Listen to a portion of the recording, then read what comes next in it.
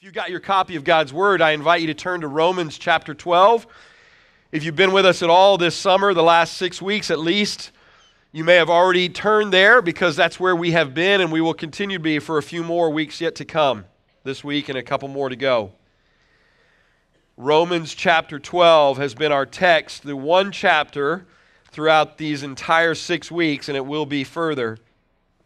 Romans chapter 12, the title of the sermon series a profile of Christian service. A profile of Christian service. In preparation for today's message, I don't know how many of you have words that you might use, and only as you're using them or after you're using them, wondering, did I use them correctly? if you're talkative like I am, that's a pretty common concern that you have used the word incorrectly. And one example that came up in the study in preparation for today's message was the difference between sympathy and empathy. Do you feel like you have a good handle on that? The difference between sympathy and empathy. As I was thinking towards it, I was concerned. I always am concerned with words like that, uh, two words that are similar but they really are distinct, and have I gotten them correct in my usage in the past? So I looked it up to make sure I was using it correctly. Many of you probably already knew this, so humor my ignorance, right? But as you might have expected, as many of you know, and I guess in some ways I knew this but wanted to confirm it, that sympathy is the idea of showing sorrow and pity but doing so remaining on the outer rim of the distress of the person that you're interacting with. Kind of remaining on the outside. Maybe as genuine as you can muster it, but that is what sympathy is. Remaining somewhat detached from the distress of the person that you are ministering to, the friend or family member, whatever it might be, and whatever their distress might be you are sympathetic. You are trying to just simply show an appropriate level of sorrow and pity for them. Empathy, if maybe you were to think of them as being similar, it might be viewed in better respect as degrees, right, of something very similar. It's still a sorrow or a pity or a compassion, but it is that, especially with the sense of you stepping into the experience more so, to tr- really try and embrace exactly what that person is going through.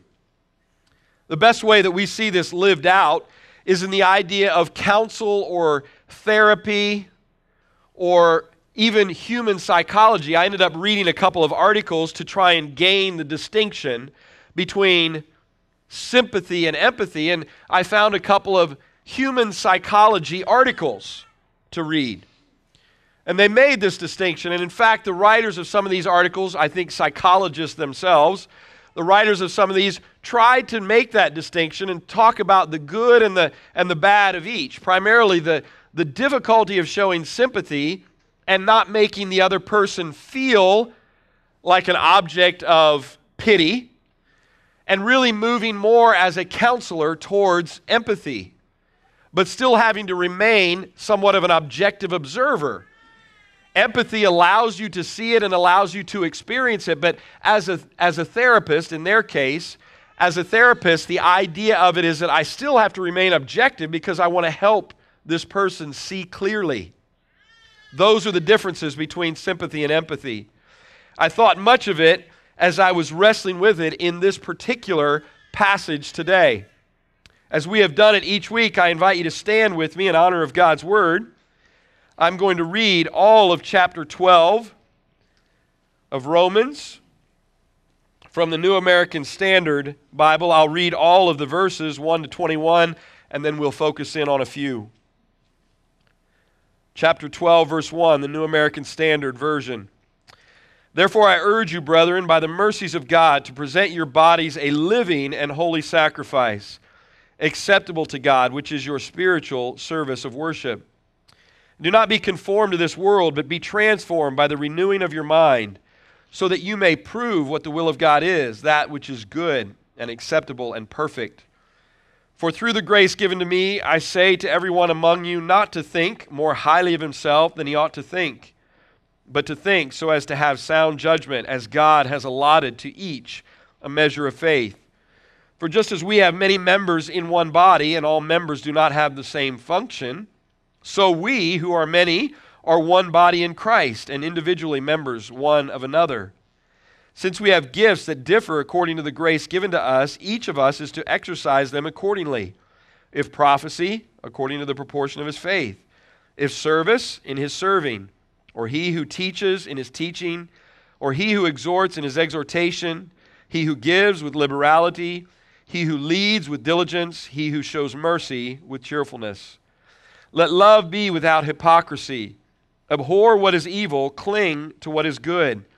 Be devoted to one another in brotherly love. Give preference to one another in honor, not lagging behind in diligence, fervent in spirit, serving the Lord, rejoicing in hope, persevering in tribulation, devoted to prayer, contributing to the needs of the saints, practicing hospitality.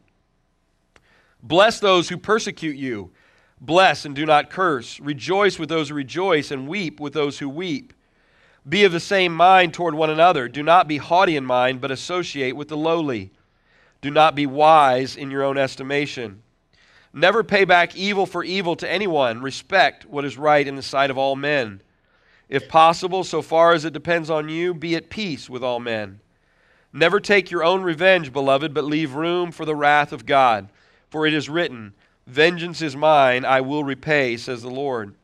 But if your enemy is hungry, feed him. And if he is thirsty, give him a drink. For in so doing, you will heap burning coals on his head. Do not be overcome by evil, but overcome evil with good. May God add his blessing to the reading, hearing, and understanding of his word. You may be seated. The title of the sermon series is a profile of Christian service, all coming from Romans chapter 12. Today's message is the power of love.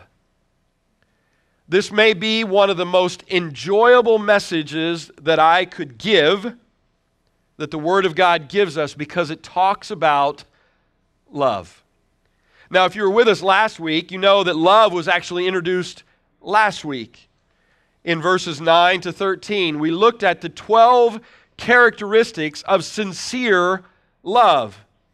And when we interact with one another, these 12 characteristics should be on display they should be on display, and in so doing, protect ourselves from hypocritical love, two faced, wearing a mask. No, rather, openness and honesty, genuineness and sincerity.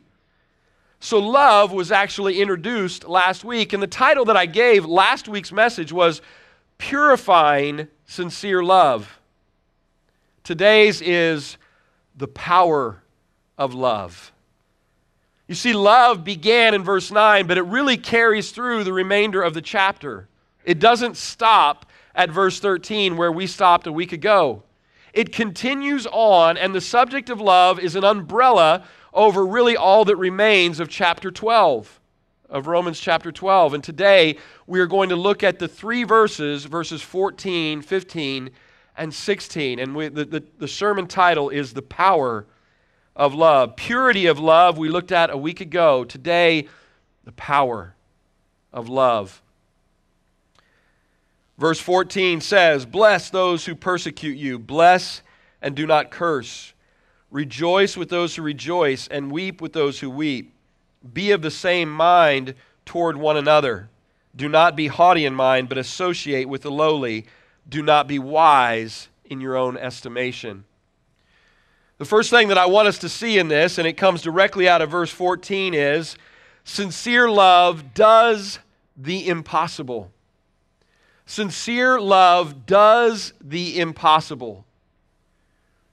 You see, we are unable, and I use the example of empathy and sympathy and the distinguishing characteristics, but I shared with you that I, I learned of it, at least in its classical definition, in each word's classical definition, in the context of human psychology.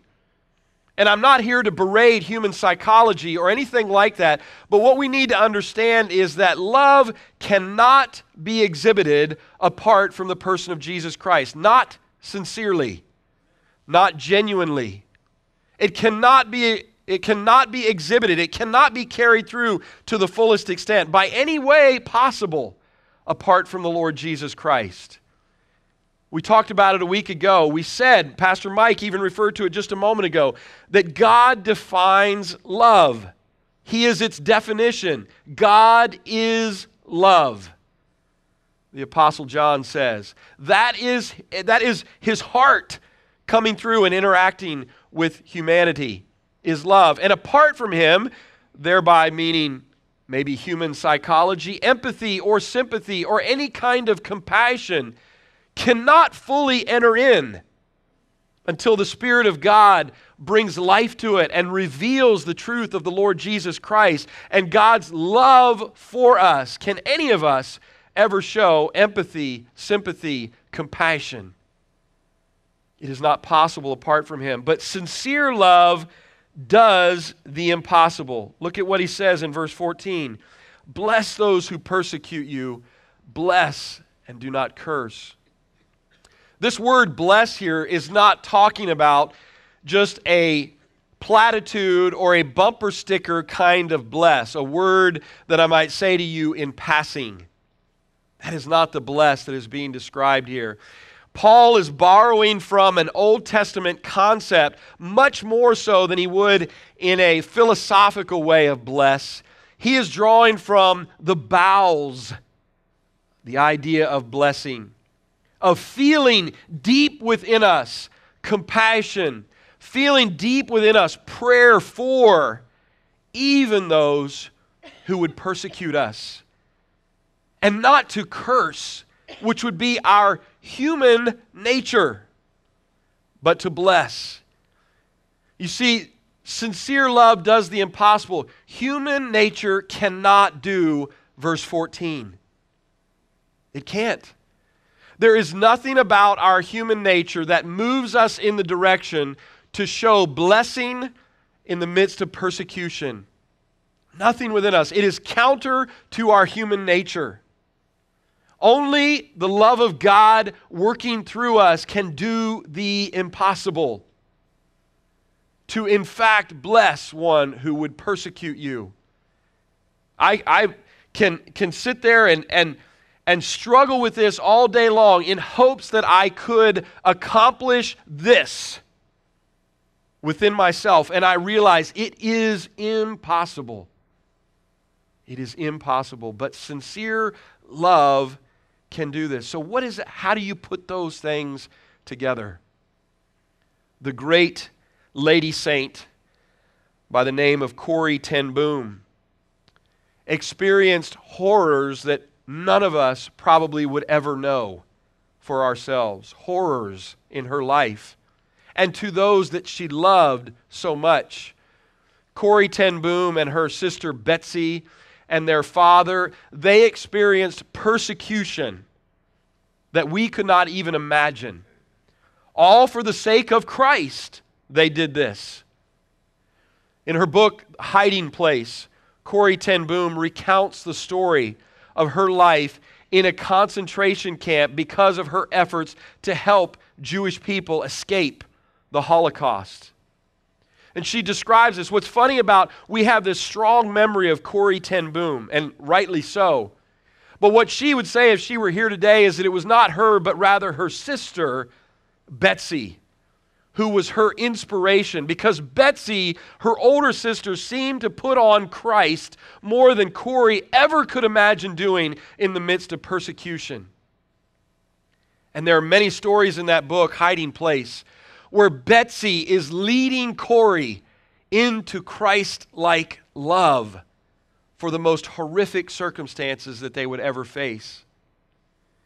Corrie has this statement very briefly out of this book that I want to share with you Hiding Place. She says this when He, speaking of God in our lives, when He tells us to love our enemies, He gives, along with the command, the love itself. Isn't that marvelous? that God calls us to love even our enemies, even those who would persecute us. But He doesn't command us to do that and leave us on our own as though a spinning top that has been set in motion. No, He knows we cannot do this. He says, Gordon, I want you to love through persecution. And here's some interesting news you can't, and so I will through you. Not only does he give the command to love, but he gives the love itself. He gives the love itself so that I can truly bless those who would persecute me. And I love this, another quote I share with you. The founder and first president of Dallas Seminary, the, the privilege that I had of attending this school, I never knew him. He was dead before I ever attended. But the founding president of Dallas Seminary, Lewis Sperry Chafer. In his book, He That Is Spiritual, I was sharing with Beverly this weekend as I was studying through this book. I had to read this book in school. the founding president, you're probably going to read his books, right? I had to read this book, and I found it to be utterly unmoving to me. And I say that with great sadness when I had to read it. That's probably the case, isn't it? When you have to read, that's the outcome as I was leafing through it this week, reading this great book, He That Is Spiritual, I was overwhelmed by it. I'm so thankful for his witness, Dr. Chafer. And he said this in this book, He That Is Spiritual, about the subject of love. Love is not the working of the human affection. It is rather the direct manifestation of the love of God passing through the heart of the believer out from the indwelling spirit. I want you to hear this phrase, this sentence. It could not be humanly produced or even successfully initiated, and it, of necessity, goes out to the objects of divine affection and grace rather than the objects of human desire. I know that's kind of old language a little bit. Let me try and help contextualize this. I love this phrase, this idea that it is not that it goes out to the objects of my desire the love of God does not go to who I desire it, it goes to who He desires it. It is His determination. It goes out to the objects of His divine affection and grace. I love that because what it tells me is that when I am, if, if I am experiencing some level of persecution, the bless that He calls me to do, bless and not curse, what he is calling me to do is he's saying, Gordon, I want them to see my love. I want them to see my affection. And I want you to be the instrument that shows them. Divine love poured out on who he desires, not who I desire. If I desired, it would be my wife, it would be my children, it would be many of you. And that's a good thing, but that's human initiated. The heart of the gospel, the heart of the scripture is that God said, I love those who do not love me. I am going to pour out my affection on them. Romans 5 8. While we were yet sinners, enemies of God, Christ died for us. It's His determination on who the object of love is played out. His decision, not mine. And so that's why he can say, Paul, by way of the Holy Spirit, can say, Bless those who persecute you, bless and do not curse. In that same book, Hiding Place, Corrie ten Boom tells the story of watching the guards beat to death a mentally handicapped person. Called them feeble, was the term that they used. And Corrie and Betsy witnessed the most awful brutality. And Betsy said to her sister Corrie, Someday, Corrie, we are going to show them that love is more powerful than hate. And we're going to build a house someday, Corrie, where that will be our message and we will invite them in. And Corrie said this I thought she was talking about the feeble ones. And she learned later she meant the guards. She meant the guards.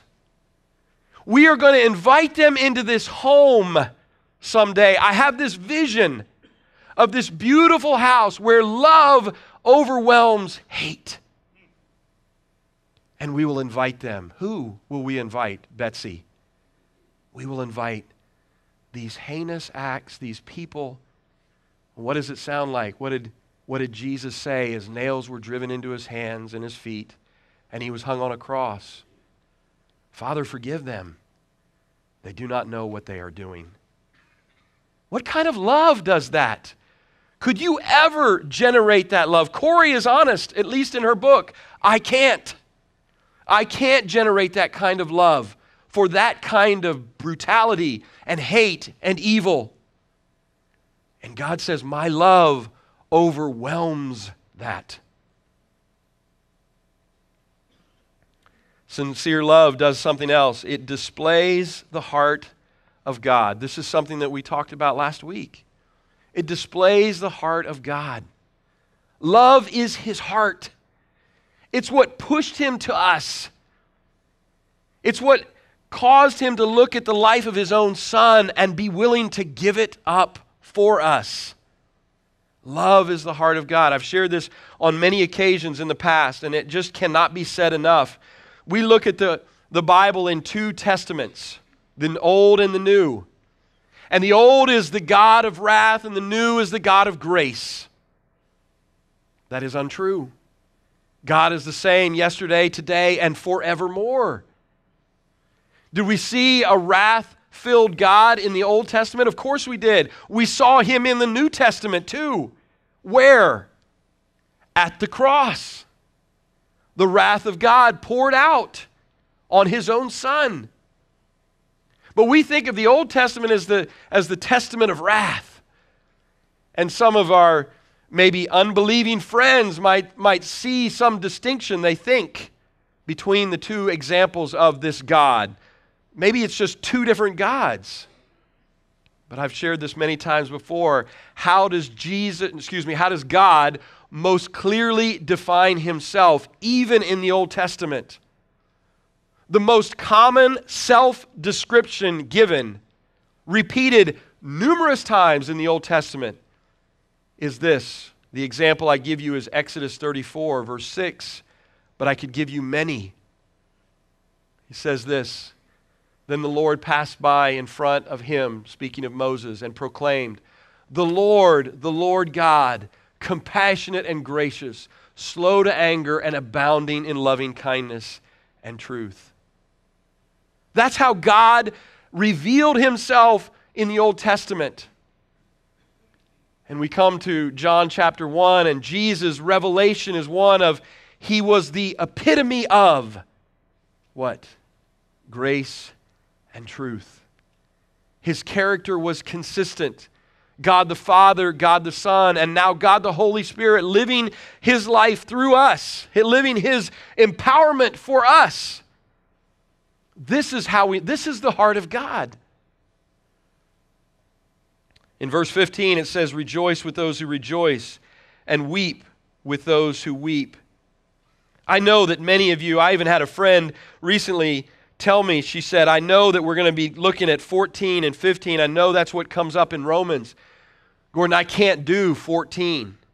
I was like, yes, you can't do 14. But, but with all due respect to her, she says, I think I can do 15. Rejoice with those who rejoice and weep with those who weep. Mourn, some of your Bibles say. Mourn with those who mourn. You know, if we're really honest, we can't do that either. We can't do that either. Rejoice with those rejoice. I've been in rejoicing, joyful situations. I've been in those. And I can go for a long way rejoicing, but what happens when you go a little too long? What if my brother and sister rejoices a little too much? What do I start doing? I start withholding my rejoicing. Because, hey, wait a minute. Your rejoicing overshadows mine. You have something to rejoice about. Maybe I don't see what I have to rejoice about anymore.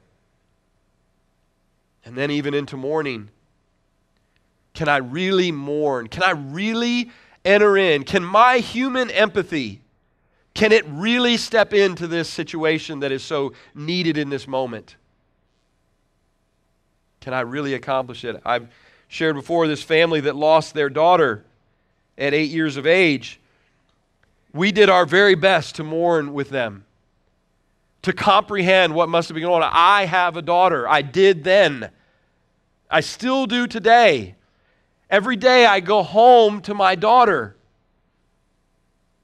I was with them as far as I could go. But I knew I would go home to my daughter and I would squeeze her and I would hold her.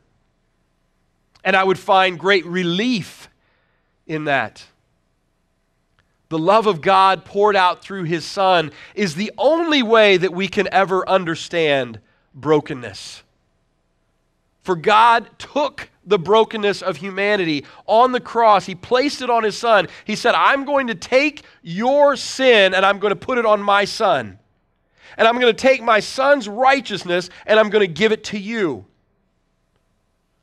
That's rejoicing and that's mourning.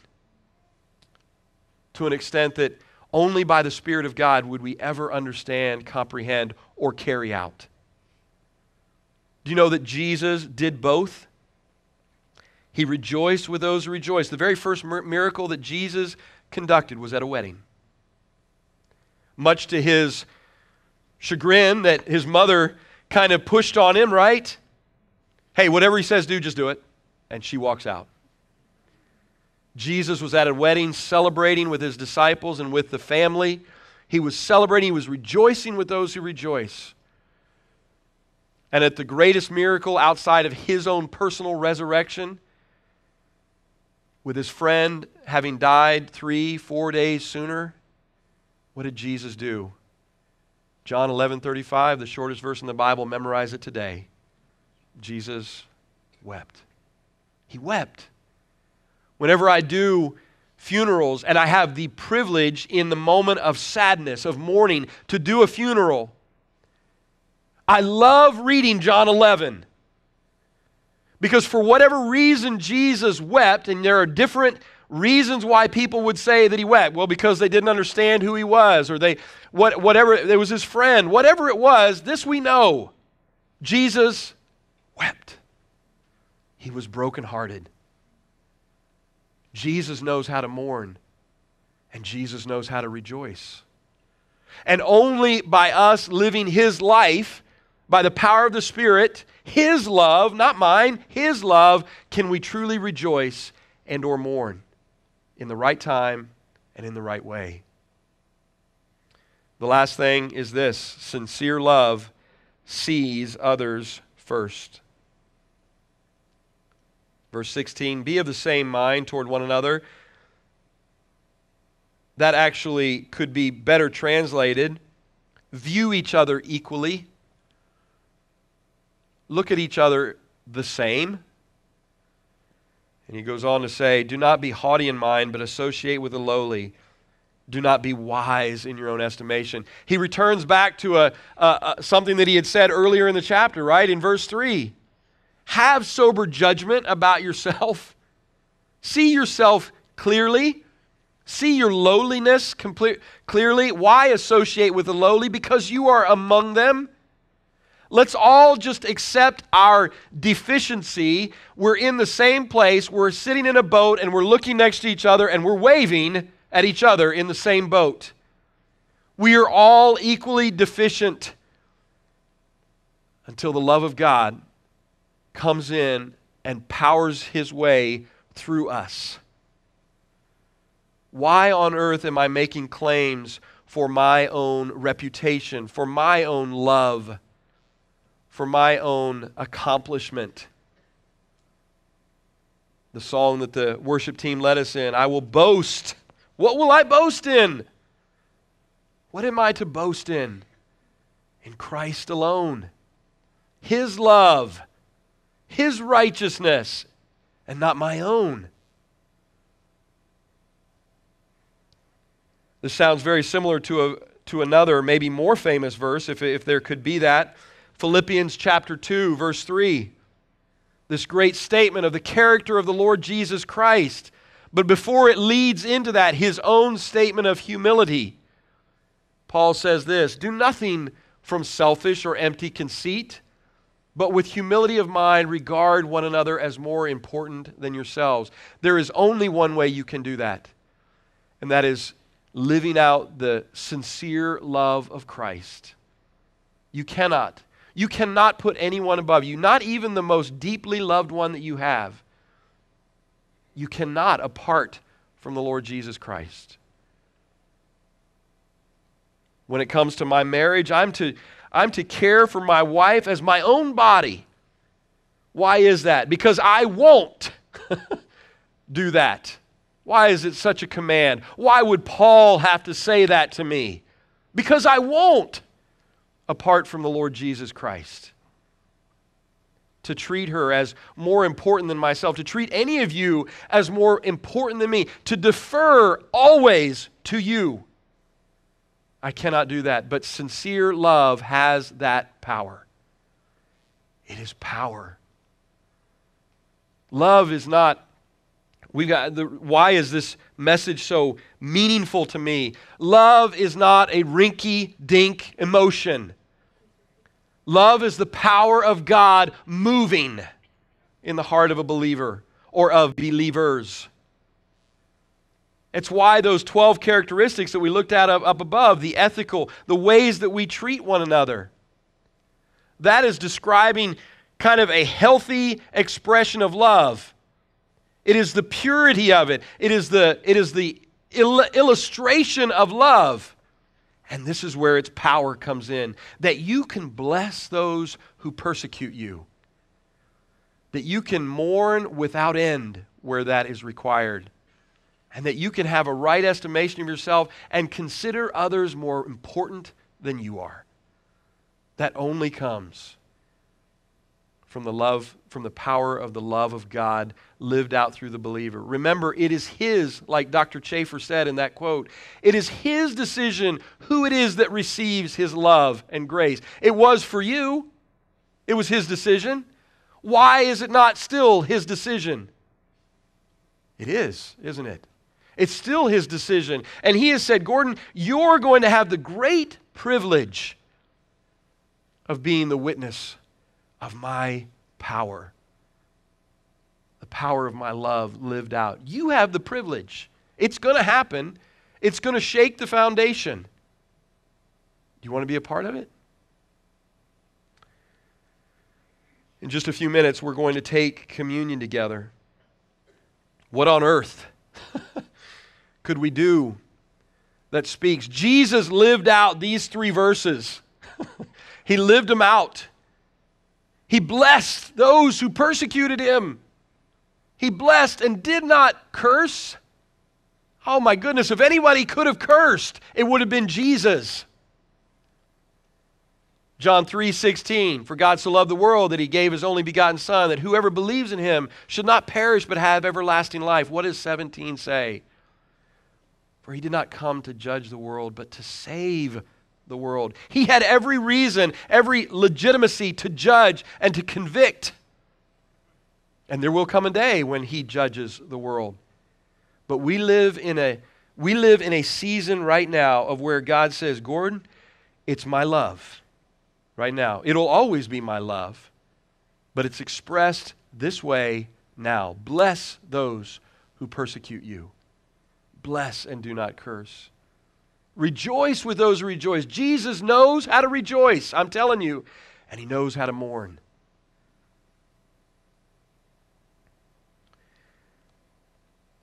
Why, why, do we, why are we asked of this? Three reasons. The world needs to see this extravagant love. The world needs to see this extravagant love. Nobody loves. On the, on the cover of Time magazine, it was around 1984 when Pope John Paul II, which I don't know his heart, he conducted himself like a believer. I don't know that for sure, but I remember the cover of Time magazine when he went to forgive the man who had attempted to murder him. And the world, the point that I am sharing with you is the world could not understand it. They put him on the cover. What is this forgiveness? The world needs to see this extravagant love. The second is they need to see the character of Jesus that is rooted in it. And thirdly, it keeps you from seeing yourself as able to do it. Why would he ask you to bless those who persecute you? Does he want you to just take it and take it and take it and take it? No. He wants you to know it's only by me that you can do this. It's a gift to him. Gord, if you can bless those who persecute you, you're living my perfect and powerful love. The only thing that we can do is wake up every morning. What is the action step that I want you to leave with today? Tomorrow, when you wake up, fall on your knees and say, God, I want your love to burst through me. It's kind of like a glove, right? If I had a glove, which I don't, I wish I did at this moment right now. If I had a glove and I set it right here on the table, do everything we could to get that glove to pick up this bottle of water. Everything we could. Come on, baby. Come on. Come on. The only thing that's going to pick up that, that the only way that glove is ever going to pick up that bottle of water is when the hand goes in it. All those fingers and that palm, they get inside that glove and they start working. We are the glove. The Holy Spirit is the hand. And he says, I will do this for you. I will make this. Just like, just like it was said, Corrie ten Boom. When he commands us to love, he does something very gracious. He gives us the love to do it. Matt, if you would begin to make your way up, allow me to close in prayer, and we will move to communion. Father God, we thank you that we are overwhelmed by the power of your love. We were overwhelmed by it, Lord. May we be the glove in which the Spirit of God, our hand, the hand in the glove, reaches out and touches the lives of those who need to see this extravagance. They need to see it. They need to see one who can bless and not curse in the midst of persecution, who can rejoice to the fullness of rejoicing and mourn to the fullness of mourning, and can look at another more important than ourselves. That is not human love. That is divine love poured out on who you desire. And you give me a chance to just be the glove on your hand. Lord, as we take communion, would you remind us through the, the sacrifice of your Son himself of the truth of this love? In Jesus' name, amen.